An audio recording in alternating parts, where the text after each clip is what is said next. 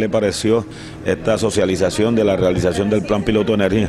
Bueno, eh, esta es una socialización que es importante para nosotros porque busca beneficios para nosotros mismos inclusive, pero como lo estamos haciendo una socialización donde estamos viendo que no solamente estamos incurriendo en gastos de nosotros, sino de que es un compromiso que tenemos que hacer todo. No solamente es un compromiso de nosotros, como usuarios, sino un compromiso de la empresa que nos está prestando el servicio. Concepto sobre lo que fue la socialización de este plan piloto de energía que se pretende hacer en algunas eh, algunos establecimientos en San Andrés.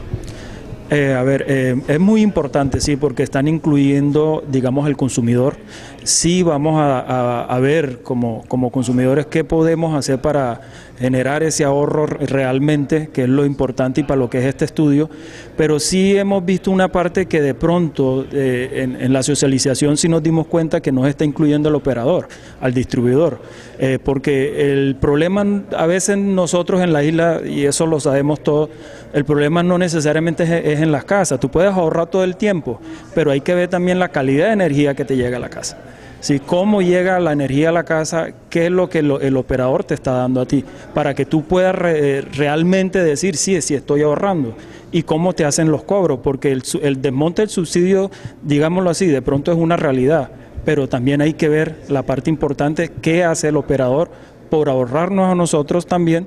como consumidores.